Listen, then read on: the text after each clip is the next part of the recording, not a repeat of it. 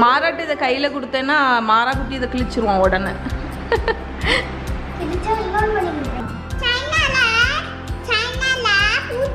பூச்சி சாப்பிடுவாங்களா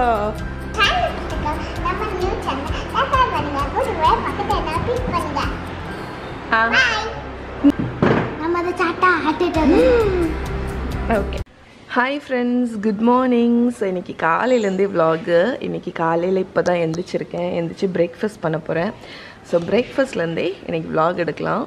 இன்றைக்கி பிரேக்ஃபாஸ்ட்க்கு வந்து பாலாடை அண்ட் எக் ரோஸ்ட் ஸோ பாலாடை பேட்டர் நான் ஏர்லியாகவே பண்ணிட்டேன். ஒரு கப் அரிசியை முந்தின நாள் நைட்டே ஊற வச்சேன். இங்கே காணிக்கிறேன் வாங்க. இதுதான் பாலாடை பேட்டர் ஒரு கப் அரிசியை வந்து முந்தின நாள் நைட்டே வந்து ஊற வச்சுட்டேன். சாதா அரிசி பச்சரிசி யூஸ் யூஸ் பண்ணலாம். அது நல்லது. நான் இன்னைக்கு சாதா அரிசி தான் யூஸ் பண்ணேன். ஸோ அந்த ரைஸை வந்து மிக்சியில் போட்டு ஸ்மூத்தாக அரைச்சிருங்க. நல்ல ஸ்மூத்தாக அரைச்சோன்னா அதில் ஒரு கப் தேங்காய் பால் ஒரு முட்டை போட்டு அதையும் நல்ல ஸ்மூத்தாக அடைச்சி அரைச்சிருங்க. அதுக்கப்புறம் பேட்டர் வந்து பயங்கர தண்ணியாக இருக்கணும். இன்னுமே இதில் தண்ணி விடணும். உப்பும் போட்டு மிக்ஸ் பண்ணிட்டேன். நல்ல லிக்விடியாக இருக்கணும். ஓகே ஸோ இதை வச்சு தான் பாலாடை பேட்டர் இது எப்படி குக் பண்ணணும்னு நான் உங்களுக்கு காணிக்கிறேன் மஹா Mahi good morning Mahi good morning இங்கே பார்த்து சொல்லல. குட் மார்னிங்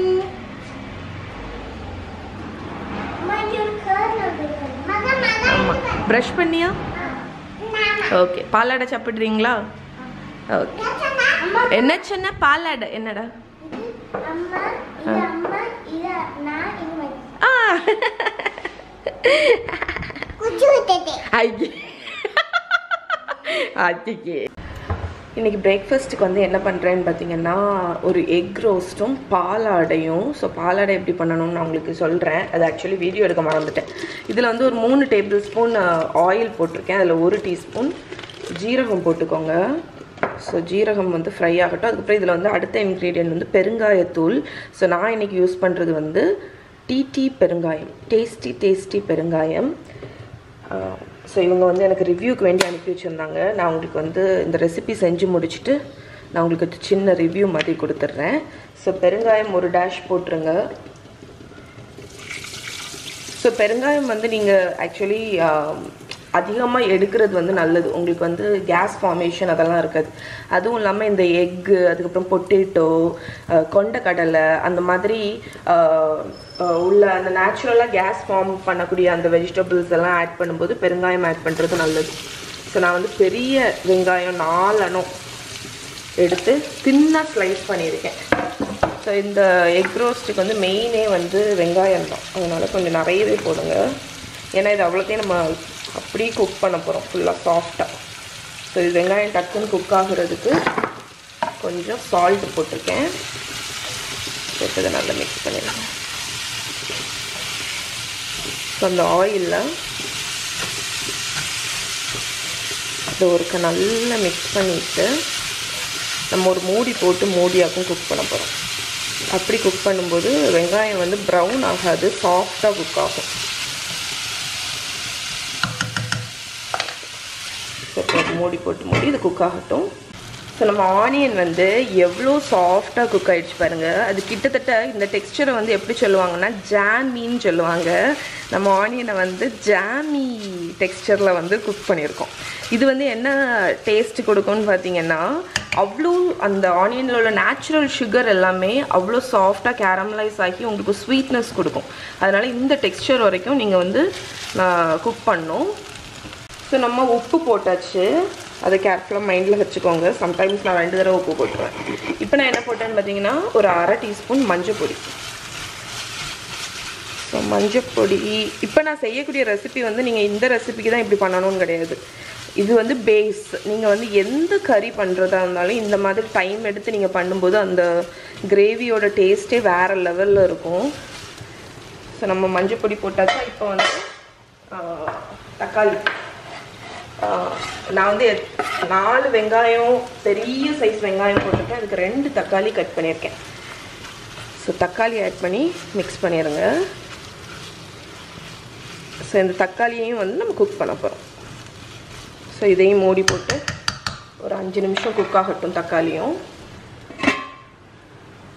ஓகே ஸோ பாலாடை பேட்டரை பார்த்துக்கோங்க.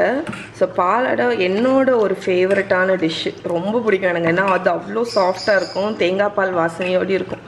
ஸோ த தண்ணியாக இருக்கணும். மட தண்ணியாக இருக்கணும் பேட்டரு இவ்வளோ தண்ணியாக இருக்கேன்னு நீங்கள் நினைப்பீங்க. ஆனால் இவ்வளோ தண்ணியாக இருக்கணும். அப்போ தான் உங்களுக்கு சாஃப்டாக பாலாடை கிடைக்கும். வந்து பாலாடை குக் பண்ணக்கூடிய ட்ரிக்கு சொல்லிடுறேன். நான் இது வரைக்கும் நான்ஸ்டிக் பேனில் தான் குக் பண்ணியிருக்கேன். வேறு பேனில் ஒழுங்காக வருமான்னு எனக்கு தெரியாது. ஸோ நான்ஸ்டிக் பேனில் ஒரு ரெண்டு அரை டீஸ்பூன் போல் ஆயில் ஊற்றிக்கோங்க சீசனிங் மாதிரி பண்ண போகிறோம் ஆயிலே இருக்கக்கூடாது. நம்ம ஒரு டிஷ்யூ பேப்பரை வச்சு அந்த ஆயிலை வந்து ஃபுல் இடத்துக்கும் அப்ளை பண்ணிடுங்க ஓகே ஸோ இது வந்து நம்ம பேன் வந்து சீசனிங் அதுக்கப்புறம் நீங்கள் ஆயில் விடணும்னு இல்லை. இந்த டிஷ்யூ பேப்பரை வச்சே ஒவ்வொரு பாலாடை செய்கிறதுக்கு முன்னாடி ஒரு வைப் மட்டும் கொடுத்துருங்க. ஸோ இப்போ வந்து நம்மளோட பேன் வந்து நல்ல ஹாட்டாக இருக்கணும். ஓகே ஸோ அது ஹாட் ஆகட்டும் கொஞ்சம். சரி இப்போ வந்து நம்ம பேட்டரை ஊற்றிடலாம் இதுக்கு வந்து ஒரு லேடில்லாம் தேவைப்படாது. ஒரு அரை லேடில் பேட்டரை ஊற்றிட்டு அந்த பேனை இப்படி ஸ்பேர்ல் பண்ணிடுங்க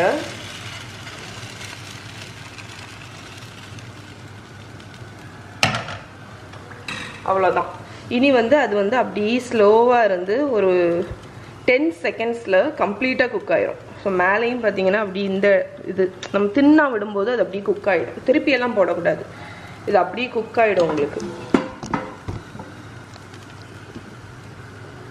ஸோ உங்களுக்கு மேலே பார்த்தாலே அது குக் ஆனது தெரியும். குக் ஆனது தெரிஞ்சோன்னா சைட்லேயும் அப்படி இலகி வரும். ஸோ அந்த டைமில் இதை மெல்ல நாலாக ஃபோல்ட் பண்ணிடுங்க. ஓகே ஃபோல்ட் பண்ணிவிட்டு இதை எடுத்துட வேண்டியதான் பயங்கர சூடாக இருக்கு. செஞ்சு பாருங்க.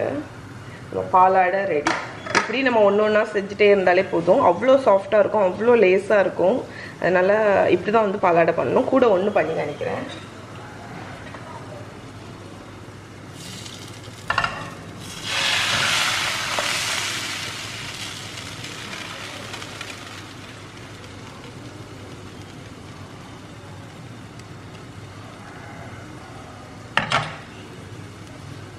ஸோ ஒரு டென் செகண்ட்ஸில் குக் ஆகிடும் அவ்வளோ ஃபாஸ்ட்டாக இது குக் பண்ணிடலாம்.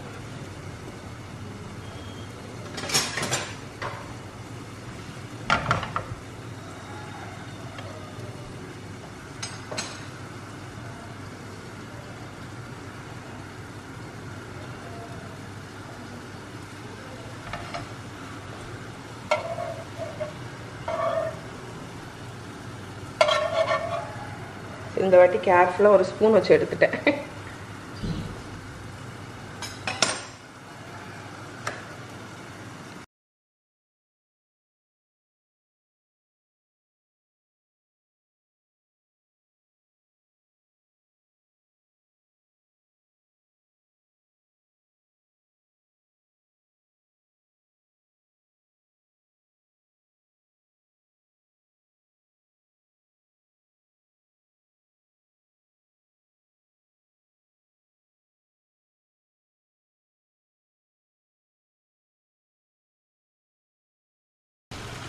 ஸோ இங்கே பார்த்தீங்கன்னா நம்ம தக்காளி வந்து கம்ப்ளீட்டாக குக் ஆகிடுச்சு நல்ல மஷி ஆகிடுச்சு ஓகே ஸோ இந்த ஸ்டேஜ் தான் நமக்கு வேணும். இப்போ நம்ம இதில் வந்து ஸ்பைஸ் பவுடர்ஸ் ஆட் பண்ணி ஸோ ஃபஸ்ட்டு வந்து கொஞ்சோண்டு சில்லி பவுடர் இது உங்கள் ஸ்பைஸுக்கு தக்கன. காஷ்மீரி சில்லி பவுடர் போடுறீங்கன்னா கலர் நல்லா ரெட்டாக இருக்கும்.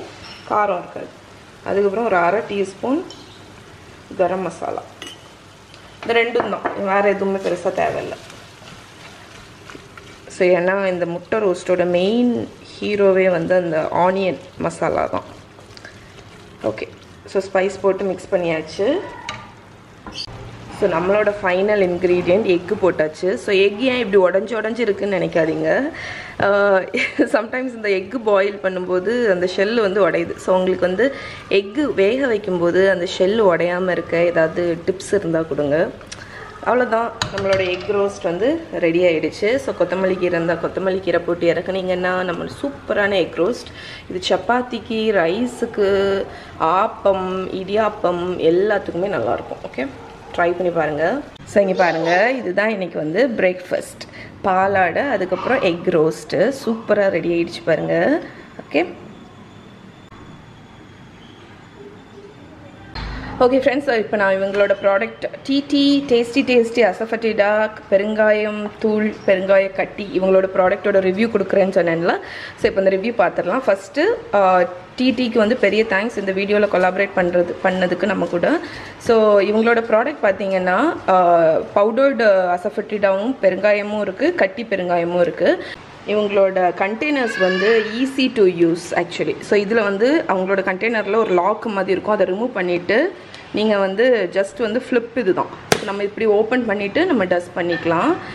ஸோ அது ஒரு குட் ஃபீச்சர் அதுக்கப்புறம் இவங்களோட ப்ராடக்ட்டை பற்றி சொல்லணும்னா ரொம்ப வாசனை. ஸோ அந்த எக் எக் ரோஸ்ட் பண்ணும்போதே வந்து எனக்கு வந்து அந்த யூஸ் பண்ணும்போதே அவ்வளோ ஃப்ளேவர்ஃபுல்லாக இருக்குது ஸோ சாம்பார் அதெல்லாம் பண்ணும்போது அவ்வளோ வாசனையாக இருக்குது அரோமேட்டிக்காக இருக்குது அதுக்கப்புறம் இவங்களோட கட்டி பெருங்காயம் பார்த்தீங்கன்னா நல்ல சாஃப்டாக இருக்குது டெக்ஸ்டர் வந்து நம்ம இந்த பிச்சு போட்டு ச சில சமயம் இந்த கட்டி பெருங்காயம் வந்து ரொம்ப ஹார்டாகிடும் நமக்கு வந்து எடுத்து பிச்சு போடும்போது ரொம்ப கஷ்டமாக இருக்கும் யூஸ் பண்ண.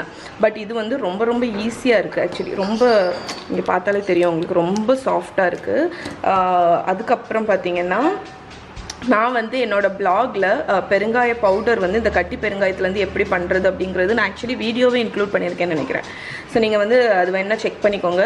ஸோ ஜஸ்ட் வந்து இதை நம்ம வறுத்து பொடிச்சிட்டாலே போதும். உங்களுக்கு வந்து பியோர் பெருங்காய பவுடர் வந்து ரெடி பண்ணிடலாம் நீங்கள் வீட்டிலேயே ஸோ அந்த ஏசாஃப் அப்படிங்கிற ஒரு பிளான்ட்லேருந்து எடுக்கக்கூடிய கம்மு தானே? ஆக்சுவலி உங்களுக்கு தெரியுமான்னு தெரியல. பெருங்காயம் வந்து என்னென்னா உங்களுக்கு வந்து ஒரு மரத்துலேருந்து வரக்கூடிய கம் அந்த பசை வரும் தெரியுமா? அதுதான் இந்த பெருங்காயம்.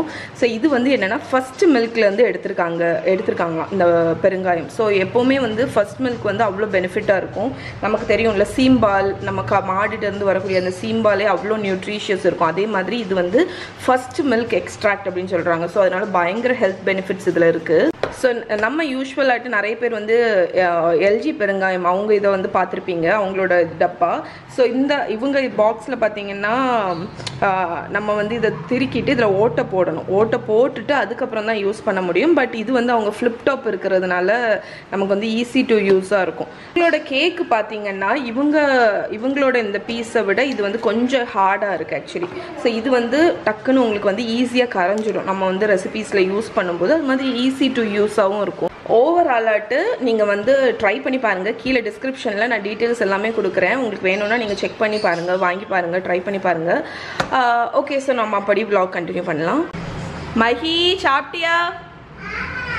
சீக்கிரம் சாப்பிட்டு சாப்பிட்டாச்சா? அப்போ பிளேட்டை கொண்டு கிச்சனில் வை. நிற்கலாம் மாட்டேன் வை.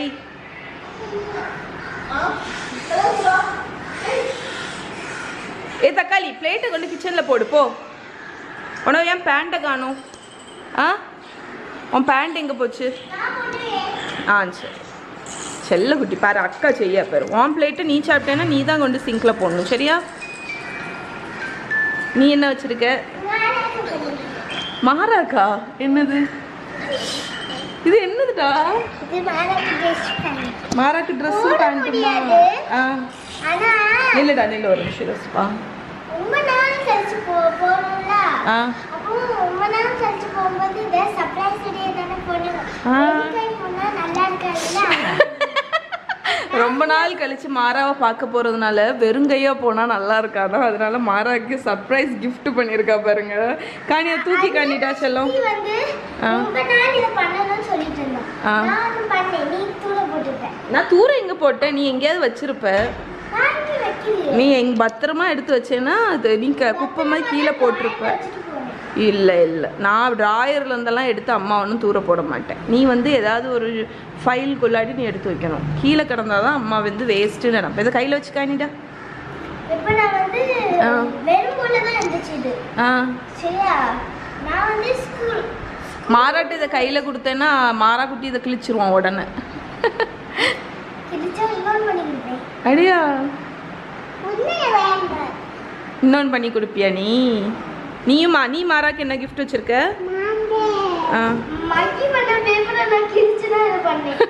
அவ தான் கலர் அடிச்சாளா? ஓ நீங்கள் கலர்ஃபுல்லாக பண்ணியிருக்கீங்களா அவன் கலர்ஸ் பாப்பான்னு?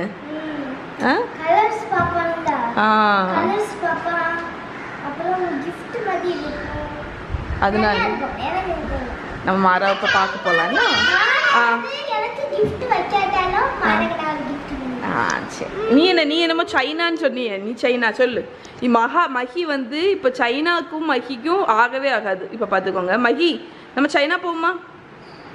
ஏமுக்கா இந்த இந்த யூடியூப்ல வீடியோஸ்ல ஏதாவது ஒன்று ஒன்று சைனால அது பண்ணாங்க. சைனால இது சாப்பிடுவாங்க. த- தமிழ் கலாட்டா நியூஸ் அந்த நியூஸ் சேனல் நீங்கள் பார்ப்பீங்களான்னு தெரியல. அந்த சேனல் வந்து இந்த குட்டீஸ் வந்து அதுதான் ஃபுல்லாக பார்த்துட்டே இருக்கும். அப்போ வந்து அவங்க வந்து சைனால வந்து இது சாப்பிடுவாங்க அது சாப்பிடுவாங்கன்னு சொன்னதுலேருந்து இவளுக்கு வந்து ஒரு பேட் இம்ப்ரெஷன் வந்துடுச்சு சைனா மேலே. அப்படிதானே மாக்கி ஆ அதனால இவள்கிட்ட கேட்டால் அவள் போக மாட்டேன்னு தான் சொல்லுவா. சைனா சைனா போவோம் சைனா போவோம். ஆ. ஆ. ஆ பூச்சி சாப்பிடுவாங்களா? உனக்கு வேணுமா? சரி அப்புறம் வேற என்ன பண்ணுவாங்க சைனால? வேற சைனால என்ன பண்ணுவாங்க? ஆ. ஆக்டோபஸ் சாப்பிடுவாங்களா? அப்புறம்?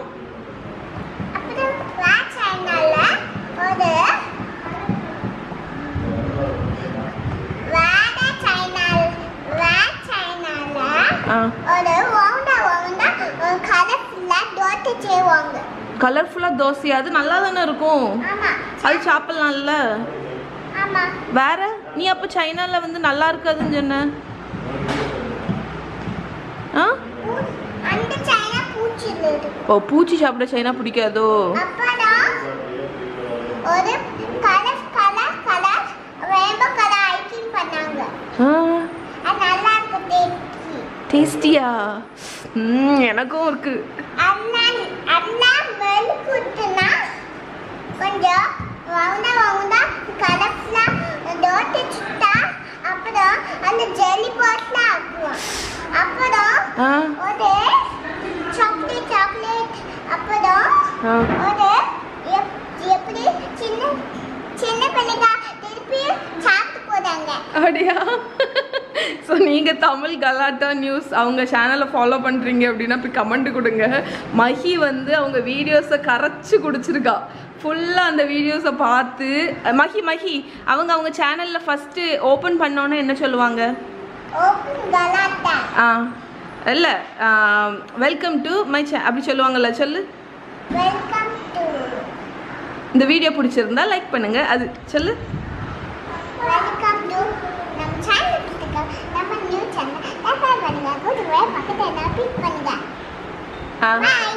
இன்னொருக்க சொல்லு. ஒழுங்கா பேசு ஒழுங்கா பேசு. ஹாய் ஆ. ஹாய் ஹாய் ஹாய் அதுக்கு தஞ்சு மேஜிக் தான் வீடியோ பார்க்கணும் இந்த வீடியோ தம சூப்பராக இருக்கும் இந்த வீடியோ கிட்ட எல்லாத்தையும் கமா பண்ணுங்க நம்ம சேனல் கிட்டயோ நம்ம நியூ சேனல் லைக் பண்ணுங்க கூடவே பக்கத்துல நான் கிளிக் பண்ணுங்க பாய் முதல்ல பார்க்க போகுது ஆ ஈட்டிங் நம்ம முதல்ல பார்க்கவே ஈட்டிங் பேஸ்ட் ஈட்டிங் டூத் பேஸ்டா அதில் இருக்க வீடியோஸ் தான் இந்த ரெண்டு குட்டீஸுமே பார்த்துட்டு இருப்பாங்க. பாருங்க நிறைய இன்ஃபர்மேஷன்ஸ் கொடுப்பாங்க. ஸோ மஹி வந்து Mahi Mahi is a big fan ம். ஆ? சைனால டூத் பேஸ்ட்டை யாரை சாப்பிடுவாங்க சைனாலே அதுவும். ஆமா. யா- யாரோ சாப்பிடக்கூடாது. சாப்பிடக்கூடாதா? டூத் பேஸ்ட் நீ சாப்பிடுவியா? சரி. டூத்பேஸ்ட் சாப்பிட்டா நிறைய பஜ்ஜு அப்படியா? ம், சரி ஓகே ஓகே ஓகே முக்கு முக்கி முக்கி. ஓகே ஓகே ஃப்ரெண்ட்ஸ் இந்த வீடியோ கண்டிப்பாக உங்களுக்கு பிடிச்சிருக்கும்னு நினைக்கிறேன். நிறைய பேர் வந்து ஏன் அக்கா ரெகுலராக வீடியோஸ் போட மாட்டேங்கிறீங்க? அப்படின்னு கேட்டிங்க. ஸோ ஒன்றுமே இல்லை. லாக்டவுனில் வந்து கொஞ்சம் பிஸி ஆகிட்டோம் ஸோ நிறைய டைம் வந்து ஃபேமிலி கூட ஸ்பெண்ட் பண்ணிவிட்டு நிறைய குக்கிங் பண்ணியிருக்கேன். நிறைய வீடியோ எடுத்திருக்கேன். உங்களுக்கு ஒன்று ஒன்றா வரும். சூப்பர் சூப்பர் ரெசிபீஸ் எல்லாம் வரப்போகுது. ஸோ இப்போ கொஞ்சம் டைட் ஸ்கெட்யூலில் இருக்கிறதுனால என்னால் வந்து ஒழுங்காக வீடியோஸ் போட முடியல. மற்றபடி எந்த ப்ராப்ளமும் இல்லை. எல்லாருமே ஹெல்த்தியாக தான் இருக்கும். ஒன்றும் பிரச்சனை இல்லை. ஸோ நீங்களும் சேஃபாக இருப்பீங்கன்னு நினைக்கிறேன். எல்லோரும் எல்லாரும் வீட்டில் சேஃபாக இருங்க. ஸோ நிறைய பேர் கேட்டிருந்தீங்க. அதனால் வந்து சொன்னேன். ஸோ இந்த வீடியோ கண்டிப்பாக உங்களுக்கு பிடிச்சிருக்கும்னு நினைக்கிறேன். ஸோ இதோடு இன்னைக்கு வீடியோ முடிச்சுக்கிறேன். இன்னொரு வீடியோவில் உங்களை மீட் பண்ணுறேன் பாய் பாய் சொல்லுங்கள் பாய்